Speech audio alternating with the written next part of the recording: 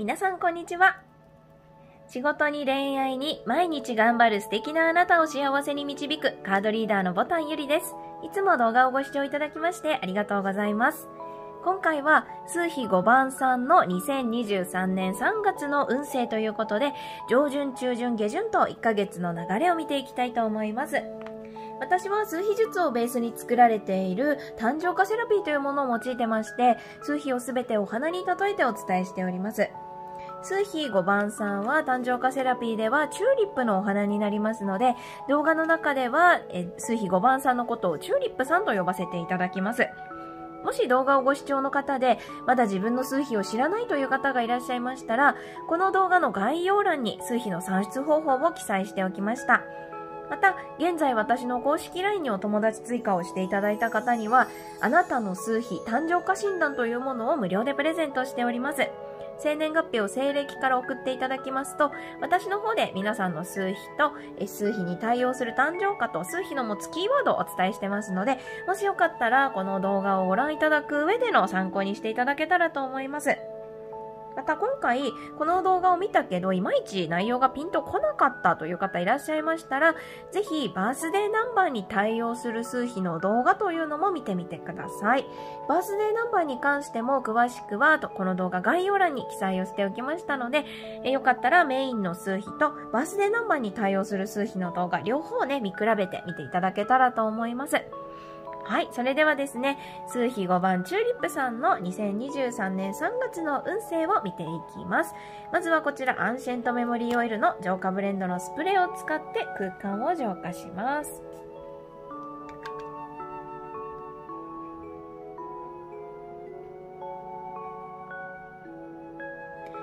はい、えー、それではまずはチューリップさんの現状から見ていきましょう。あー、ごめんなさい、急に急にすごくぶちまけてしまったんですけれども、はい、落ち着いて、心を落ち着かせて引いていきます。え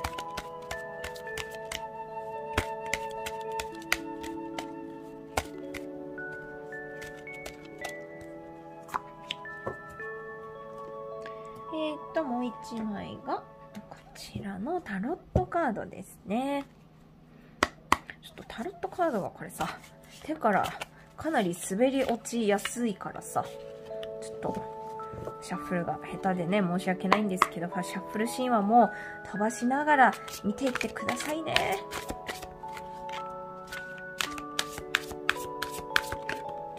はい。では、こちらにします。そして、もう一枚がクリスタルエンジェルのカードです。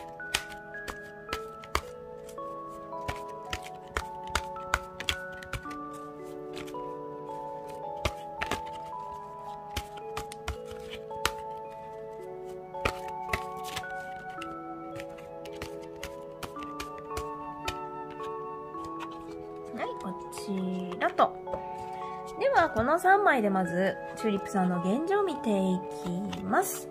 はい、えー、数比22番のカード、胡蝶蘭のカードが出てきました。そして、カップの10の逆位置。そして、ガーネットのカードが出てきましたね。ほうほうほうほう。うーんと、そうだな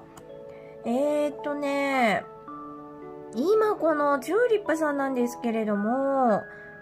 うん、あの、すごくいい感じでね、今何か達成したい目標とか、もうここまではやっておきたいなって思ってることとかが、ある程度ね、形になってきてるっていう方が多いんじゃないかなって思いますよ。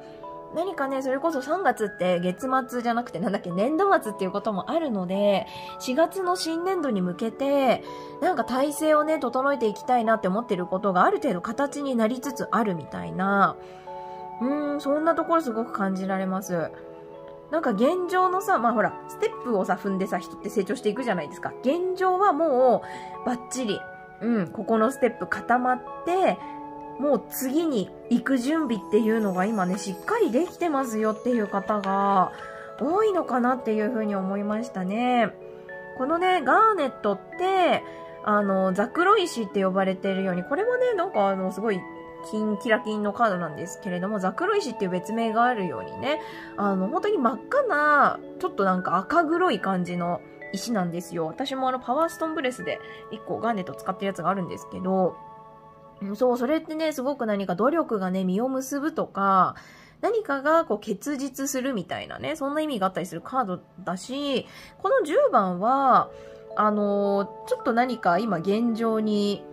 なんかマンネリを感じてるじゃないけど、そういう意味があったりするカードなんですよね。そう、だからやっぱ現状も十分準備が整っていで、もうそこから次のステージにこれさ、地球儀から飛び出してきちゃってる。フェアリーさんって感じですよね。そう、もう今の現状早く飛び出して、次の世界に行きたいみたいになってる方が多いのかなって思いました。もともとね、数比5番のチューリップさんは刺激がすごく好きみたいな、楽しそうって思ったことにぴょんぴょんぴょんぴょん飛び移っていくみたいなね、そういうなんかフットワークの軽さだったりとか、自由なところ、好奇心旺盛なところっていうのがある方がね、多いって言われてますので、そう、もう今、現状ある程度ね、成し遂げたいことはできたからもう次に、今までのこのね、実らせてきたものを踏まえた上で次に進んでいきたいっていう前向きな気持ちというか、なんかワクワクその新年度に向かってというか、新年度じゃないのかもしんないけど、なんかこれから何かね、その次に進んでいくべきステップみたいなのがあって、そこに向けてとっても気持ちがね、ワクワクしてってるっていう方が多いんじゃないかなって思いました。まあじゃあそんなね、チューリップさんの3月どんなことがテーマになるのかをまず出していきますね。まあ、これは、あの、本当全体向けのリーディングっていう形にはなるので、ピンとくるところだけを拾っていただいて、何かこの先のね、運気アップのヒントにしてもらえたらと思ってますので、なんかあんまあんまり当てはまんないなって思った場合は、そんなにもう気にしなくても全然大丈夫なので、はい、ピンとくるところをもらっていただけたらと思います。なんかすごいカードが、シャンってひっくり返っちゃうんですけれども。うん、これでいきましょう。えー、そして、でもう1枚3月のテーマのカードは、ユニバーサルオラクルカード。はい。そして上旬、中旬、下旬の流れはタロットカードを数枚で見ていきます。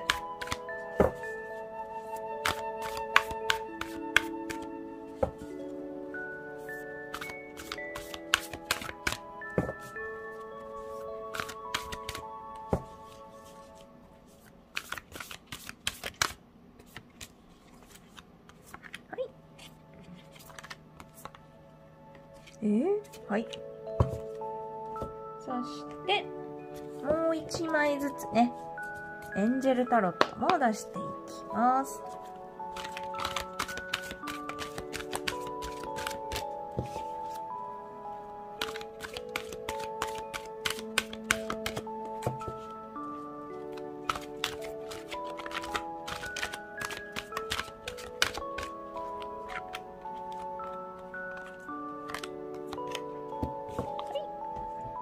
ではまずテーマのカード2枚見ていきます。おすごいね、これ。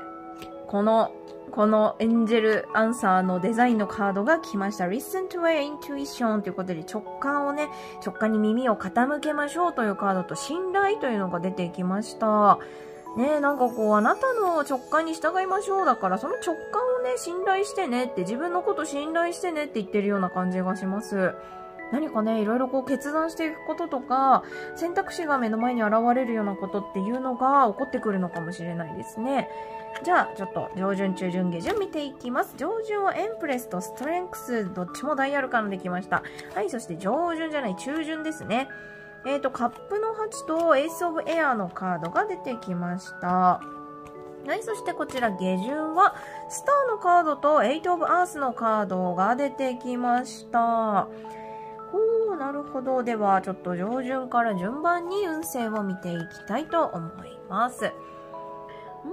ーん、まずこれね、ちょっと上旬なんですけれどもね、両方ダイヤルかなで、ちょっと強めのカードがね、出てきてるんですけれども、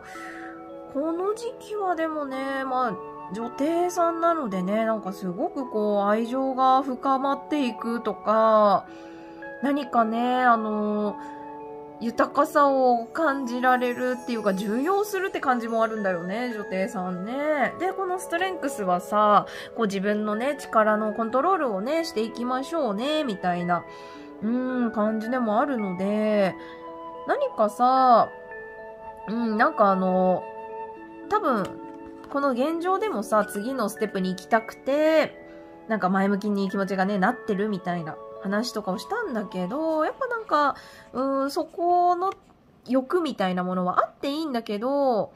なんかそこを次を目指すばっかりじゃなくて、ちゃんとなんか今を味わうことっていうのかな。今、この自分が手にしているものとか、自分の周りにあるものを自分の近くで自分を支えてくれてる人とか、そういう存在に目を向けて今を味わうことをもう少しね、意識しようねって言っているのかなと思います。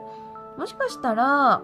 このね、3月ってさっき言ったみたいに月末じゃない、年度末っていうのもあるから、まあ次その4月に向けて、もうなんか次々こういろいろ進めたくなるんだけど、新年度になる前の今の状況を味わえるのって本当にいいね。この3月が最後だと思うので、その今にもう少しこうフォーカスをしてみた方がいいよっていうことかもしれないです。まあ、新年度で、例えば部署がね、変わる人がいるよとか、転職する人がいるよとか、まあ、もしくはさ、その、学生さんだったら進級してね、学校が変わるよとか、あの、進級して学年が変わってクラスが変わるよとかさ、そういう人いるかもしれないけど、で、変わった先で、じゃあ、どんな仕事していこうかなとか、どんな人と出会えるかなとか、どんな人と友達になれるかなとか、そういう楽しみもあるんだけど、でも逆に今の環境で今の人たちと楽しい時間を過ごせるのって、この3月がラストだから、なんか今をね、もっと味わってくださいねっていうのが、3月の上旬、うん、なんか今を味わうことにフォーカスして、ちょっとその前のめりになる気持ち、噛んじゃった。前のめりになる気持ちっていうのは、ちょっと抑えてもいいんだよ、みたいな。うん、焦らなくていいよって。そんなことをね、言ってくれているのかなって思いました。はい。まあちょっと今をすごくこうね、味わって、ねすごくこの、綺麗な表情してますね、彼女ってさんもね。はい。まあ、本当にこう、今を抱きしめるっていうところ、なんか意識してもらえたらなっていうふうに思います。はい。そしてね、中旬なんですけれども、中旬はカップの8とエイスオブエアだから、やっぱね、ここの中旬とかで、まあ、それこそね、学生さんになっちゃうけど、まあ、卒業して次の場所に旅立っていくようなことがあったりとか、まあ会社の人とかだったらね、まあ転職する人だったらさ、まあ中旬から有給に入って、有給消化に入って、本当に職場とさよならするとか、うん、そういうなんか切り替わる時期がここで来るのかなっていう感じがしますね。なんかね、ワンちゃんがすごく名残惜しそうに振り返ってるし、ここであなたはね、ここにカップがあって、今まであなたが磨いてきたカップ、そのうち1個思い出として持って帰ろうみたいなね。そう、ところがあるんだけど、うん。思い出捨てがたいんだけど、もう次に進んでいこうっていう風に、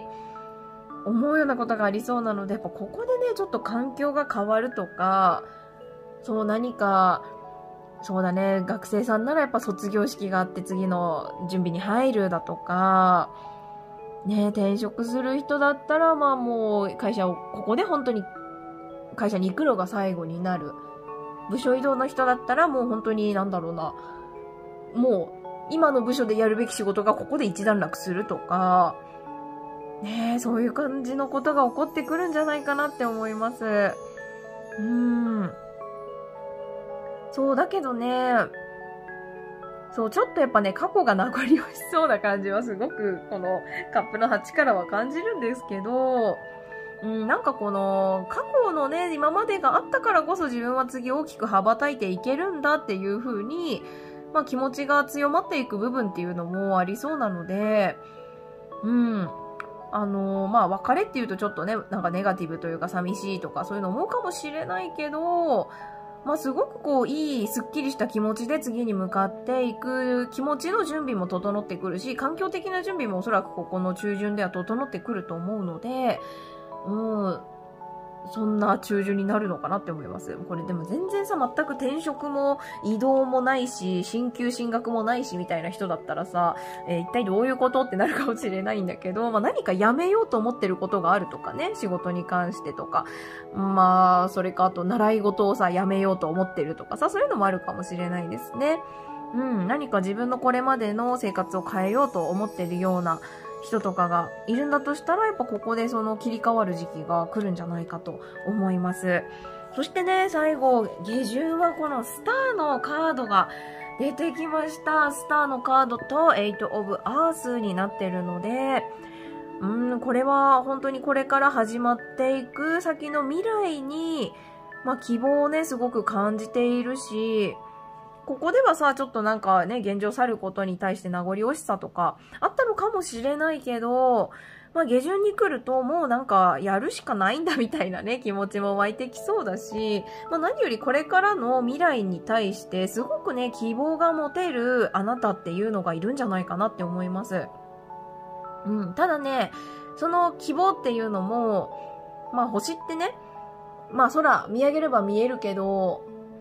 まあ、やっぱなかなかさ、見えるけど、触るまでにはいかないっていうか、ほら、触れないじゃん。距離もすごいあるし。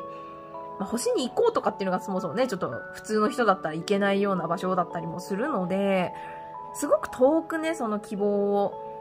うん、感じてる。とか、あとまだなんか現実味がないようなところももしかしたらあるのかもしれないです。うん、進学するってなったら、その進学先がね、進学先で、じゃあ、まあ、進学したらこの学校生活で、何を成し遂げたいなとかさ、いろいろこう思うことがあるんだけど、それが今の自分にはちょっと遠い目標だったりとか、まあ、転職する会社とかでもそうだよね。うん、ここの会社でこれから自分はこういう仕事をね、成し遂げていきたいんだとか、いろんな思いとか、ね、あの、いよいよそこの第一歩踏み出すんだっていう、希望は見えてるんだけど、まあ、まだね、実際に始まってるわけじゃないっていうのもあって、ちょっと遠い目標うん、だからそれに備えてあなたがしっかり勉強していくとか、自分の、まスキルを磨いていったりとか、する時期が、この下旬なんだよって。まあそのスキルをね、身につけるとか、勉強するとかは短期間な話ではないんですけど、まあここでおそらく自分のやるべきこととかを地に足つけていろいろ考えるっていうことができる、うん、そういう時間が取れる時期なんじゃないかなと思うので、そう、ここのね、輝く星に自分が手をね、届かせて、届かせるためには、自分には今何が足りないのかとか、何をやってたらいいのかっていう自己分析をしっかりね、していっていただきたいなっていうふうに思います。うん。だし実際それとちょっと向き合わなければいけないようなことっていうのも起こってくると思いますね。うん。あの、周りの人の実力を知って、自分はまだ全然これが足りてないんだっていうことに気づいたりとか、うん、そういうこともあるかもしれないです。ただね、だからといって、それって全然、ネガティブなことではないんですね。どちらかっていうと、あの、本当に希望っていう感じなので、あの人すごいから私なんてダメだっていう風に卑下したりとか、そういうんじゃなくて、あの人すごいな、私もあの人と同じくらい、すごい人になりたいじゃあこれやればきっとなれるっていう風になんか前向きに考えられる。そんな、うん、そんな下旬っていう感じがするので、気持ちはね、全然負けてないので、ぜひこのね、下旬になったらそういう時間、そういう機会があったら、なんか、それを確かめるじゃないけど、うん、自分と向き合う時間ってすごい大事にしてみていただきたいなっていうふうに思いました。ねで、この自分の直感に耳を傾けるとかね、信頼するとかってあったんですけれども、まあなんか直感で何かを判断するみたいなのとかはあんまないのかなっていう感じもするんですけど、まあやっぱ自分をね、自分に対してすごく信頼感が持てる時期だっていうようなね、ことを最初にお話ししたと思うので、ね、ここで何か次の目標に向かって旅立っていくとか、ここで何か自分のやらなきゃいけないことをこう向き合って、ね、それを見つめていくとかっていうことがあった時に、ちゃんとね、なんか私ならできるから大丈夫だよっていう風に自分のことを信頼してあげること、うん、その気持ちがね、すごく、あの、大切だし、このスターのね、手の届かない星にも手が届くように、なれる、うん、そういうパワーがね、あなたにはあるんだよっていうことをね、言ってくれているのかなって思いました。うん。で、ん、でもやっぱこのね、直感のカードが来てるから、うん、直感力がやっぱすごく高まるし、何か瞬間的にここでさ、自分の必要なものがなんか、あ、今これやればいいんだっていうようなことが見えてきたりとかね、そういうのもあると思いますので、はい、ぜひね、ちょっとこちらのカードのメッセージというのも参考にしながら1ヶ月送っていっていただきたいなっていうふうに思います。はい、では最後ね、そんなチューリップさんに向けたラストメッセージを光のメッセージカードでいただいてみたいと思います。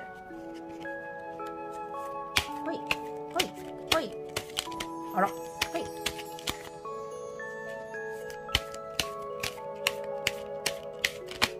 ぴょー、ぴょんって出てきたので、これにしましょう。はい。こちら。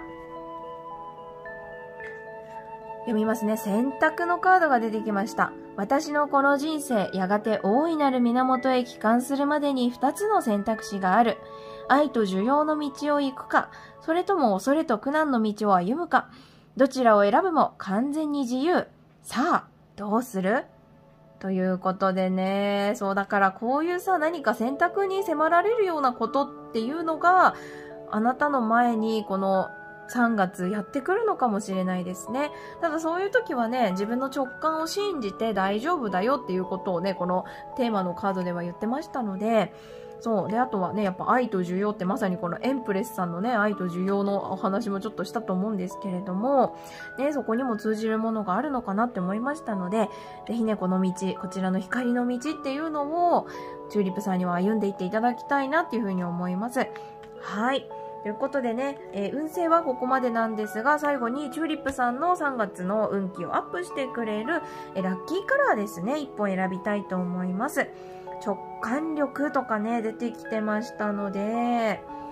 あとはまあ自分とね、向き合うとかね、そういうところとかもあったので、えこのロイヤルブルーにしようと思います。ロイヤルブルー直感力を意味するカードだし、まあ自分とね、向き合うとか、そういったものもね、意味するような色になってますので、えロイヤルブルー運気アップのために小物で取り入れてみたり、え瞑想中にロイヤルブルーの色を頭の中でイメージする、えカラーメディテーションという方法などで、今回のメッセージを思い出すのに役立てていただけたらと思います。はい、ということでね、えここまでご視聴いただき本当ありがとうございました。今回全体向けのリーディングだったんですが、もっと個別にね、あの具体的な運勢を占ってほしいという方がいらっしゃいましたら、個人鑑定の受付というのも行っておりますので、概要欄のリンクからサイトを覗きに来てください。あとは、えっと、冒頭浄化で使ったこちら、 Ancient Memory Oil のブレンドスプレー、そしてブレンドのオイルの販売というのも今しております。メモリーオイルは皆さんの夢や願い事を叶えるサポートをしてくれる香りのお守りとなっております。これはね、えっと、リーディングの時に使ってる浄化ブレンドなんですが、他にもお仕事運アップや恋愛運アップ、あとは皆さんの悩み事に合わせたオーダーメイドのね、オイルとかも作成しております。このね、ブレンドの、スプレーはスプレーなんですけど、オイルの場合はこういうね、スポイトのついている小瓶に入れて、えこうやって1滴ずつね、使えるんですけど、すごい便利なんですよ、これ。はい。こういうね、スポイト付きの小瓶に入れて、あなただけの特製オイルをね、お届けっていうこともできますので、もしよかったらこちらも概要欄のリンクからショップを覗きに来ていただけるとすごく嬉しいです。それでは、ここまでご視聴いただき本当にありがとうございました。また次回の動画でお会いしましょう。チューリップさんの1ヶ月が素敵な1ヶ月になりますように。ありがとうございました。